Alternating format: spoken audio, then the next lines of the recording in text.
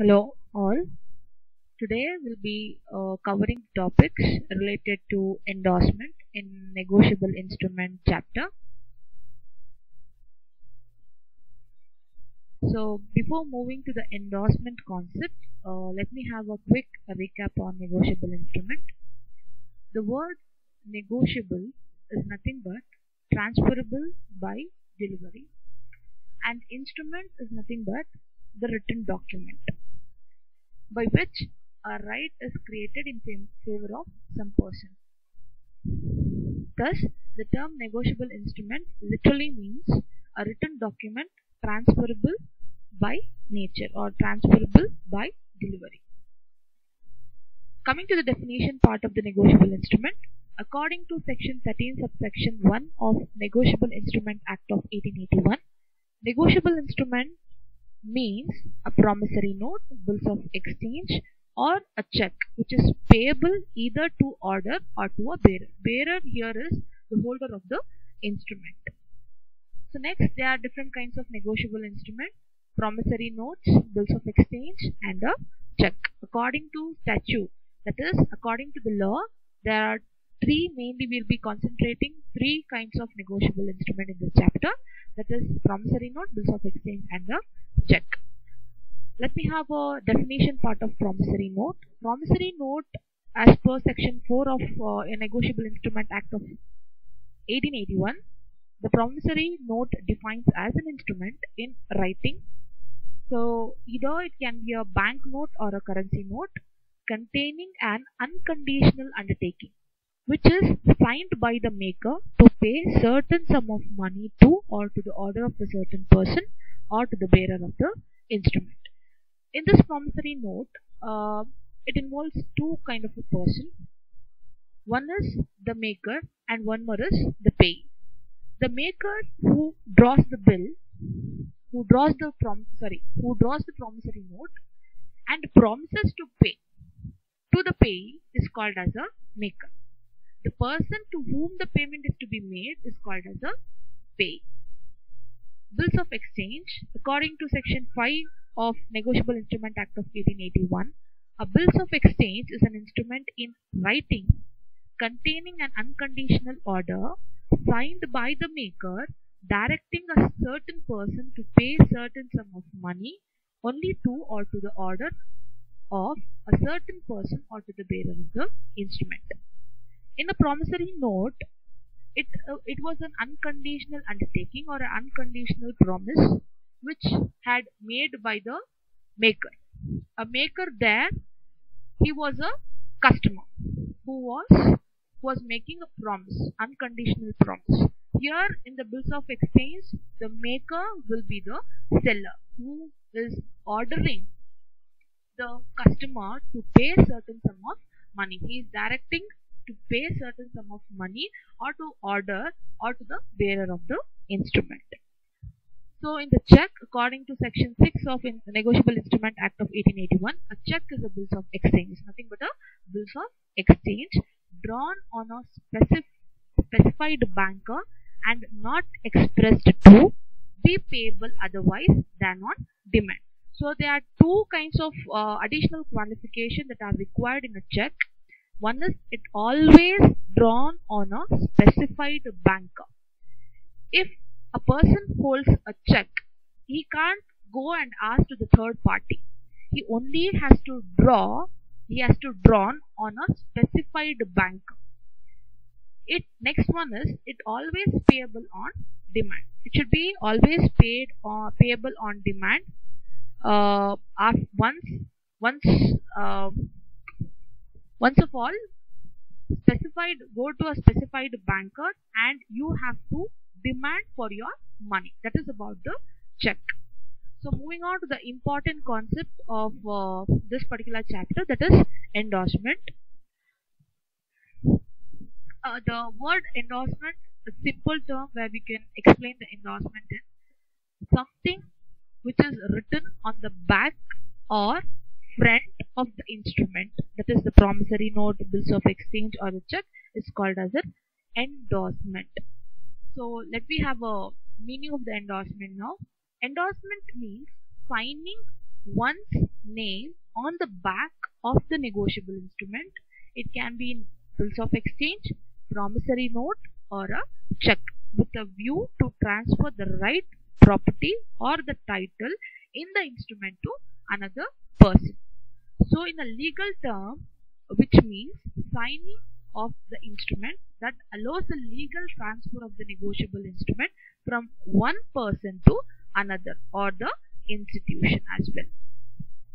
Coming to the definition, endorsement has been defined in section 15 of Negotiable Instrument Act of 1881 as where the maker or holder of negotiable instrument signs the same otherwise than as such maker for the purpose of the negotiation on the back or face thereof or on a slip of paper annexed thereto. He is said to endorse the same This is called the endorser. So uh, let me explain you this definition then start with the parties who are involved in endorsement process. Let me uh, explain you through an example. Let's say there is a bookseller uh, name is Umesh sells a book worth rupees 10,000 rupees to Amit who is a buyer. So Amit don't have uh, don't have the cash and hence he takes the book on credit. For the legal security, yeah, he'll give the book to Amit on a credit basis. For the legal security, Amit draws a bill having an unconditional order saying that this fellow has to give 10,000 rupees after 3 months. Here, Umesh has two options. The first option is he can hold the bill for 3 months and get the payment after maturity period from Amit. Second option is he can use this instrument for meeting his business transaction. In this situation, if Umesh requires money, uh, if he requires immediate cash requirement after one month during this uh, three months duration, he can borrow some money from another person. Uh, the other another person name may be Pratik for the period of two months. So hence he will pass on the instrument to Pratik. While doing so, Umesh has to write on the back of the instrument by giving the proper instruction to Amit that he has to pay, that the Amit has to pay money to Pratik and he has to put his signature. Who Umesh has to put his signature and he has to give a proper instruction to Amit saying that he has to pay this sum of money to Pratik. Now, Pratik is the owner of the instrument and he can claim the money from Amit after the due date. This signing of the document and transferring it to some other person or some institution is called as endorsement. Now, Pratik can pass on the document or instrument to some other person by signing on the back of the document. This process of passing or transferring may go on and on till the final payment is made. While passing this document, Umesh can sign on the back or its face or he can sign in a slip of a paper and attach it to the document. Therefore, it is said in the definition that negotiation can be done either by signing on the back or face or in a slip of a paper attached to it. So the next concept is parties who are involved in the endorsement process. There are two parties who are involved in the endorsement. The first party is the endorser.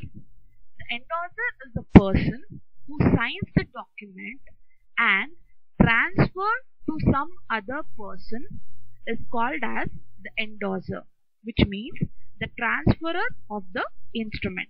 In this before example the previous example what had uh, given you in that example Umesh was the endorser who signs the document and transfer to other person. The second party will be the endorsee. The person on whose name the instrument is endorsed. That person called as endorsee. In the previous example, Amit, uh, sorry, Pratik was the endorsee. The person on whose the name, the name of the instrument is endorsed. So he has wrote that Amit has to give the payment to Pratik. So Pratik who is receiving the payment. So the instrument whose the person uh, on whose name the instrument is endorsed, that person is called as endorsee. So next, the legal uh, term which are which are used in banking sector that is allowed. If the back of the instrument is filled by endorsement, the holder in order to provide space for any further endorsement may tag or paste or attached at, sorry or atta attested a piece of paper called allonge. Allonge is nothing but it is a paper attached to an instrument to provide a space for additional endorsement. If there is no space available in the instrument, then he can attach it to the original instrument and he can go for the additional kind of a process is called as allonge. The next one, the essentials of a valid endorsement. What are the essentials or the elements which are included in the endorsement while in the process of endorsement? The first one is it must be a written instrument. It should be uh, signed, okay, on the back of the instrument or the face or in a slip of paper. It should be in a written form. Okay, that is what it is said that it should be a written instrument. The next one is must be prepared by holder or a maker but not a stranger. Yes, endorsement is essentially made by the maker or a holder of the instrument but a stranger cannot endorse it. That is true, very much true. Third party will not come into the picture who cannot do this kind of an endorsement process. Only a maker or the holder of the instrument has the right to prepare, to write a endorsement, to sign on a endorsement. Next one, signed by the endorser. It must be signed by the endorser where full name is not essential initial may also sufficient for it if illiterate person is making an endorsement then uh, thumb impression should be attested. As i mentioned earlier signature can be made at any part of the instrument. Back on the instrument uh, uh, back of the instrument or on the face or uh, in a slip of paper. Rubber stamp is not accepted but after the signature of the endorser, if the endorser wants to write his designation, designation, then a rubber stamp can be used. So next is entire bill must be transferred by a partial but not a partial. See when you are doing this kind of an endorsement process, it should be full endorsement. So all the, uh, I mean, whatever the amount which is mentioned in the bill or in any kind of a negotiable instrument, it should be full endorsement, not the partial endorsement. The next one, uh, endorsement does not contain any specific form, but intention to transfer must be present. Yes, there is no such specific form for endorsement. So there is no uh, such rules and regulation that is to be maintained in the process of endorsement. But the intention should be specified. That is there should be a transfer. So that is uh, that is one of the essentials of a valid endorsement. Next one in a bill or note payable to order if the name of the endorsee is wrongly spelled. See in a bills of exchange or any kind of negotiable instrument or to order if the name of the endorsee is wrongly spelled then then the endorsee when he wants to do further endorsement uh, he has to sign his name as spelled in the instrument earlier and write the correct spelling within the bracket after his endorsement. So that is what it is said. If it is wrongly spelled you have to do it like this so next one it should be in the form of ordinary signature so whatever the um, ordinary signature of the endorser is there that has to be done um, then suffix or a prefix should be avoided like Mr. Mrs. Miss Shri or Doctor should be avoided a normal ordinary signature of a payee or an endorsee is is avoided uh, sorry it is being done it is accepted. Next is a title of the honor should be omitted from the endorsement. That is Padma Bhushana, Padma Shri, Dada Saheb, etc. So title, whatever the title which is being received by the endorser should be omitted. Should not be uh, written in the back of the instrument or in the face or it might be a slip of paper. It should be omitted. So next one. The kinds of endorsement. The kinds of endorsement. So there are different kinds of endorsement. Blank or general endorsement. A second one special or uh, full endorsement. Partial endorsement. Restrictive endorsement.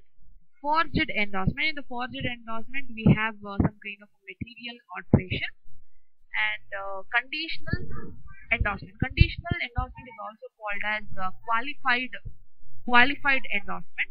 So in the qualified or a conditional endorsement, we have three different kinds of endorsement: sans recourse endorsement, facultative endorsement, sans frais endorsement.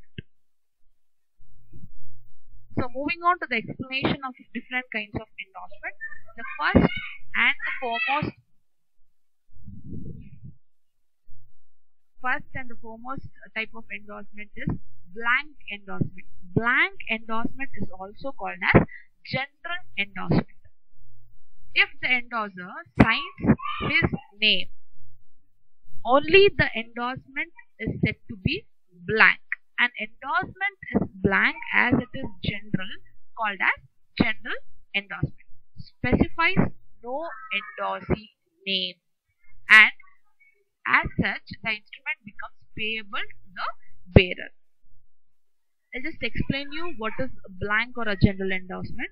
The endorser puts his signature on the back or the face of the instrument without mentioning the name of any specified person. He'll never mention the uh, endorsee name in whose favor the endorsement has been made. Here it is mere endorsement that is uh, it is said to be this kind of endorsement is said to be blank and which contains no endorsee name. So the instrument is paid to a bearer and consequently it can be negotiated or transferred by mere delivery. It does not does not have a limit negotiability. The next one is full endorsement, a special endorsement. So uh, full endorsement is also called as a special endorsement here. It is an endorsement in which the endorser writes not only his name but also name of the person to whom the instrument is endorsed. It can be further negotiated only the endorsee named in the instrument. So in the blank endorsement there was no endorsee name specified. But in full endorsement or special endorsement, endorsee um, the signature of endorser as well as endorsing name will be specified. And it can be further negotiate, eh, negotiated only by the endorsee named in the instrument. The party who's mentioned the per person name which uh, which are mentioned in the instrument that is the endorsee he can have the right to have a transfer a transformation of that kind of negotiable instrument many a time. That person has the right. The next one will be partial endorsement. If only a part of the amount of instrument is endorsed it is called as partial endorsement. A purpose of transfer to endorsee a part only of the amount payable on the instrument such instrument does not have any further negotiation. And it is being considered as invalid uh, endorsement. Why? Because let's say a is the holder of a bill rupees 1000 he endorses it by paying to b or to order rupees 500 this is a partial endorsement and it is invalid for the purpose of negotiation. So in the bill it has been written as 1000 so he endorses it to B saying that you have to uh, pay me only 500. You have to pay mm, the third party only 500 rupees. So that is invalid. If you want to do the endorsement or transformation, uh, transferring the document, then you have to go for full endorsement or a special endorsement. If it is done in the partial, then it is called as a partial endorsement. This is with respect to amount. Next one, restrictive endorsement. A restrictive endorsement is one which limits the further negotiation of the instrument. The endorsee is in such cases cannot further endorses it. Gen uh, generally, the word only is added after the endorsee's name. He cannot further endorses it to anybody. So the endorsement of the instrument contain uh, contains certain terms, making it restrictive the endorser restrict the further negotiation of the instrument, telling that you can't uh, go for the negotiation. So this is what the condition it is said by endorse before endorsement to the endorser. So this kind of a restriction which is being put by the endorser to the endorsee, those kind of an endorsement is called as restrictive endorsement. The next is conditional endorsement. The endorsement may be given with certain condition which should have been fulfilled by the endorsee for obtaining payment. The endorsee's right to receive money is subject to the fulfillment of a particular event. So condition conditional endorsement is also called as qualified endorsement as I said you earlier. Uh, restrictive endorsement is different. Conditional endorsement is different. An endorsement where the endorser limits or neg uh, neg negatives his liability by putting some condition in the instrument. So a conditional endorsement will not hold any kind of a condition with respect to restricting for the negotiation of the instrument. He can't put a condition saying that you can't go for the negotiation. So uh, putting the condition based on the negotiation that is called as a restrictive. But condition, what kind of a condition may be uh, fulfilled by the uh? So it might be related to different kind of uh, conditional endorsement can be dealt. So let's say an example, pay to A on completion of house building to Ram. So he is telling that uh, the endorser is telling to um, uh, the endorser is telling to en endorse sorry. The endorser is telling that you need to you'll be getting the amount only after completing the house building. Once you have done with the house building you'll get the amount back. So that is what somewhat uh, he is putting the condition on a instrument. And next one is pay to y if he marries x within a month so if um, if he wants the money back okay he wants to marry X within a month. Only after marrying X, he'll be getting a sum of money.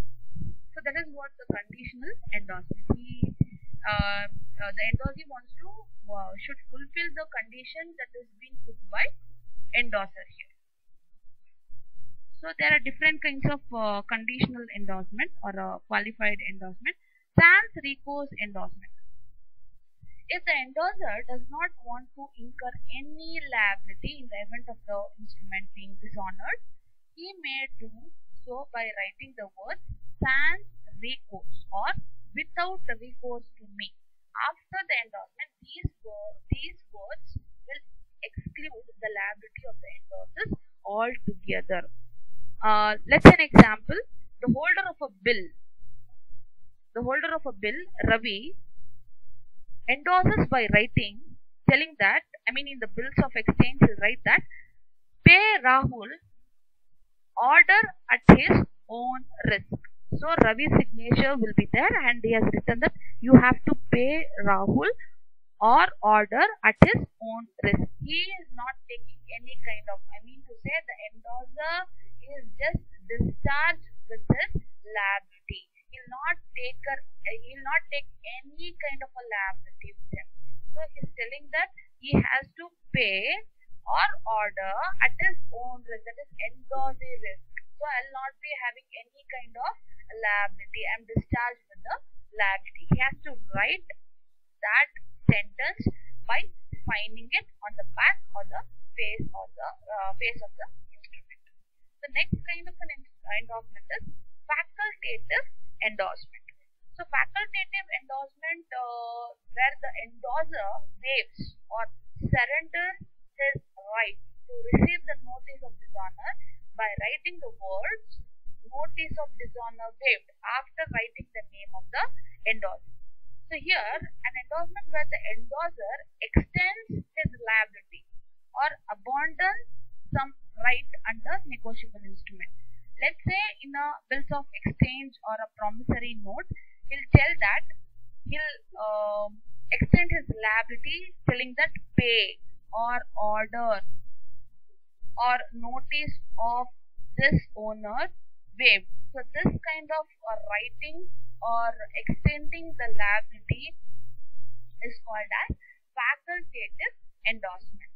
So uh, next kind of a conditional endorsement is sans uh, frais endorsement. Sans frais means without expenses. Here the endorser does not want any expenses to be incurred on his account on the instrument. He does not want any additional expenditure that has to be that has to be bared by the endorsee.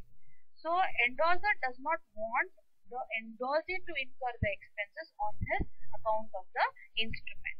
So he only bears the expenses, that is the endorser will be making all the expenses uh, while in the process of endorsement. So those kind of an endorsement is called as sans frais endorsement.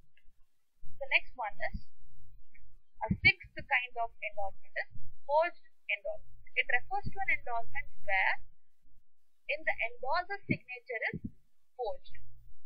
It will not confer a valid title to the uh, endorsee or transferee even even if he is holding in due course. So if the signature of the maker or a drawer or an acceptor is forged on a negotiable instrument, it is termed as forged instrument or a forged endorsement. So in the uh, forged instrument has no existence in law.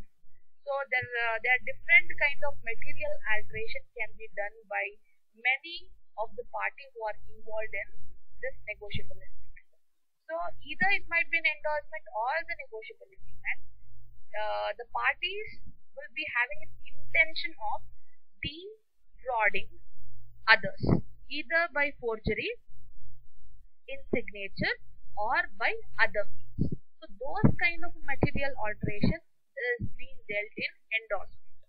So coming to the definition, section 85 subsection 1 of Negotiable Instrument Act Act of 1881 any alteration in the original state of check such as date, amount, payee's name, changing the word, order to bearer appearing after payee's name or in the endorsement. So those kind of an alteration is called as material alteration. They are altering all the signature here. They are uh, altering some few uh, essentials, essential requirement which is specified in the negotiable instrument or in the endorsement. So those kind of an alteration are said to be material alteration. So altering in an original uh, negotiable instrument is called as material alteration. So moving on to the next concept of endorsement that is legal effects of endorsement. So first legal effect that is uh, the endorsement of the check or a bills of exchange has varied significance. It has following legal effects here. The first one is transfer the property in negotiable instrument. To transfer the property in the instrument from endorser to endorser, you can transfer like if you have this kind of a trans uh, transferability, it is only with the legal effect of endorsement you can do this. That kind of a right is available in the endorsement. Second one, right to sue the acceptor of the bills for recovering the amount due. So let's say a right to sue on the instrument on in his own name against all the parties. If the if uh, if the endorsee uh, didn't receive his amount from third party once he's getting uh, through which he's getting the amount if he's not getting if he's not recovering the amount back then he can sue the party in the court of law. So that kind of a right is given in the endorsement. The endorsement is something like a proof proof. And next one right to recover from the same uh, from the parties the same uh, point has been explained here right to recover from the party. see if n number of endorsements is on the process where uh, the transferability has been done uh, are on and on so it shows that uh, to whom it has been endorsed. Again the further transformation is being endorsed and if that party is not paying the amount that can be recovered recovered through the legal effect he can sue in a court of law saying that this party has endorsed it but this uh, the same party has not given my amount. So and so. So in case transfer legal rights also applicable. So if you are transferring some um, you know the legal document uh, to some other person legal right is also applicable when it comes to endorsement. Let's say uh, I'll just give you an example for this transferring the legal rights uh, which are applicable. A property which are which has owned by the person. A property which is owned by the person uh, I I need to transfer the property to some other person. Okay? I where I can uh, have this kind of an endorsement in the legal rights.